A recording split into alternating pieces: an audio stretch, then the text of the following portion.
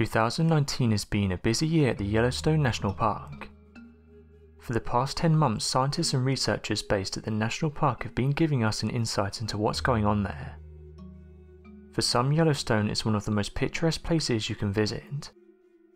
It covers over 3,400 square miles and research has shown that interest in the park is on the increase. In fact, over 3.8 million people visited the park this year, this has been the most amount of people since 2010. Although Yellowstone is not the largest national park in the US, it's perhaps best known for sitting on top of a supervolcano. The system is still considered active and contains a reservoir of magma big enough to fill the Grand Canyon several times over.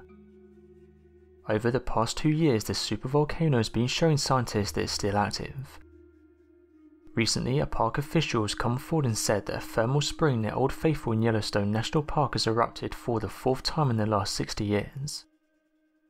This particular spring went from being dormant to spewing steam and water between 20 and 30 feet high. Something interesting to note is that this height hasn't been recorded since 1957. Not only this, but researchers working at the park have said that new erupting vents and surface fractures have started to open. They've even had to close a boardwalk in the Poplar Upper Basin. Scientists warned that last year two of the three warning signs there was going to be an eruption was picked up on. These warning signs include seismic activity increasing and an increase of gas outlet at the surface. Going back, a report was released by Yellowstone. Something that researchers have picked up on is that for the last few years, experts all over the world have noticed seismic activity increasing. This continued to increase into early 2019. One of the worries is that will these tremors affect Yellowstone?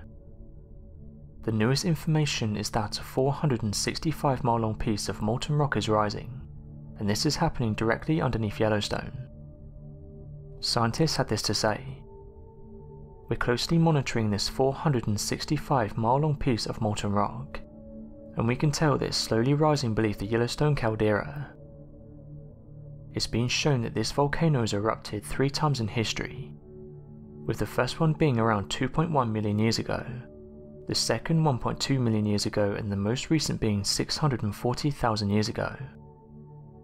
We've discovered that Yellowstone's magma chamber is slowly rising each year. With all this activity, it's led scientists to speculate that the largest supervolcano in the world might be about to erupt, Data has shown that in the past 12 months over 200 earthquakes have hit Yellowstone, and this suggests that a huge tectonic plate shift has taken place underneath the surface of the Earth. As you can imagine, when this news got released, people started to ask questions. One of them being when is Yellowstone going to erupt next? As of right now, seismologists have said they're keeping a close eye on their data and releasing news as soon as they can. Another piece of news to come out of Yellowstone this year was that over 50 seismic trackers around Yellowstone picked up on tremors. This news was released due to a recent study that was carried out at Yellowstone. This national park has been in the news quite a bit lately and these trackers have sparked the interest of researchers. Seismologists working at Yellowstone are doing more tests to see how it's affected the national park. Another recent study has also shown researchers the Yellowstone volcano is sitting on top of a hotspot. This means that every so often magma starts to rise to the surface. Rather worryingly, scientists have said that should an earthquake occur, it could take less than two weeks before a catastrophic reaction is triggered. So, with all that being said, what would happen if the Yellowstone supervolcano erupted? Referred to by scientists as a catastrophic supereruption, the force and material that would be ejected from the massive Yellowstone supervolcano if it were to erupt would be among one of the largest explosions to be ever recorded on the face of the Earth. When looking at estimated comparisons of this pressure and ejected magma compared to that of Mount St. Helens, it appears that the eruption of the Yellowstone supervolcano would roughly be 10,000 times larger than that of Mount St. Helens, and the Yellowstone supervolcano would roughly be equivalent to that of 300,000 explosions the size of the atomic weapon dropped in Hiroshima. What this essentially translates out to would be the immediate ejection of more than 2,500 cubic kilometers of ash, magma and materials. Though the supervolcano isn't expected to cause a massive upheaval of land, This large amount of pressure being released will still cause a blast wave that can cause damage out past the state of Wyoming, Idaho and Montana. Additionally, the Yellowstone supervolcano lies close to a number of sensitive fault lines all across the west coast. It's believed that this massive amount of pressure released in one moment coupled with the massive amount of force generated via the super eruption will create a domino effect of seismic activity that could lead to fault lines completely sliding in opposite directions, causing a number of massive earthquakes all across the west coast. The earthquakes would be some of the largest to have ever been recorded, and would lead to further damage of roads, highways, cities and nearby constructions, ultimately completely blocking off those affected from reaching the help they would need. The eruption of the massive Yellowstone supervolcano will do much more than just emit a large amount of materials from the volcano itself. It's predicted the massive amount of force and pressure released by the volcano will trigger other pockets of magma to release nearby. Those scientists are aware of the fact that the eruption of a volcano cannot trigger the eruption of nearby volcanoes. In the event of a supervolcano in its eruption, the incredibly large amount of forces and material buildup would lead to a pocket of nearby magma vents to form, creating a number of normal volcanic entities that will also spew out large amounts of volcanic materials. Though technically speaking the supervolcano is not triggering other dormant volcanoes, it will continue to form these vents of which will grow in size and will appear to be similar to that of smaller volcanoes having formed. It's also believed that with such a large enough tectonic plate shift caused by the overwhelming seismic activity that will be caused by the forces of the eruption, a number of large events could form along the ridges of the shifting tectonic plates. If these plates shift enough not only would there be a number of massive earthquakes, but there could be a number of newly formed volcanic entities all along the entire west coast.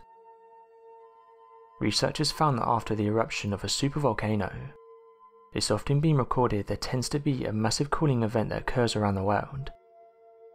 This is due to the fact the ejection of a large amount of volcanic ash causes a global darkness event, preventing the planet from warming up and causing a global ice age.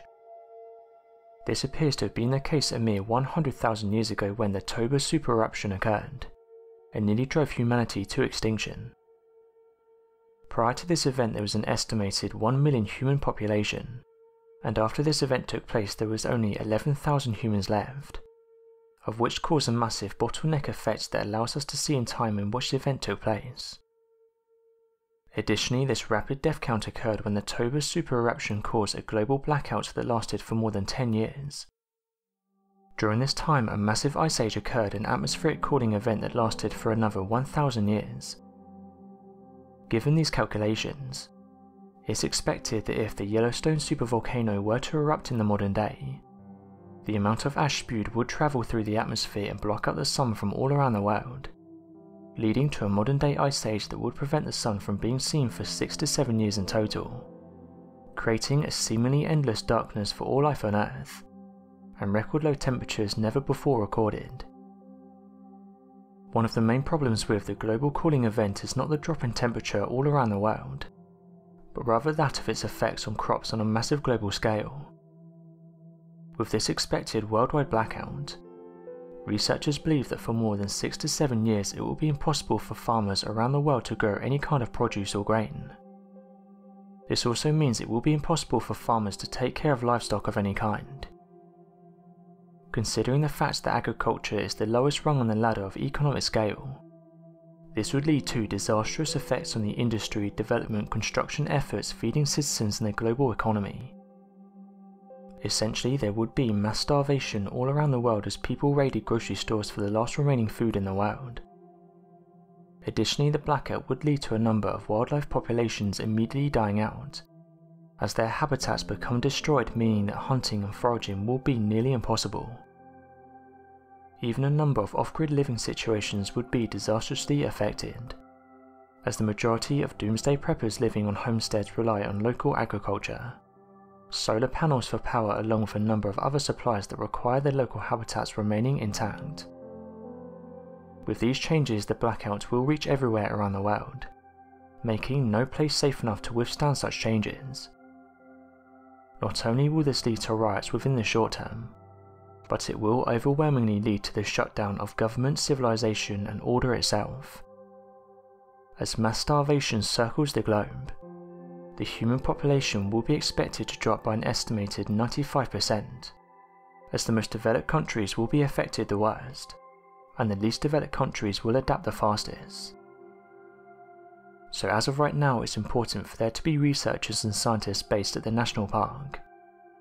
Keeping an eye on this supervolcano allows us to get updates as quickly as possible.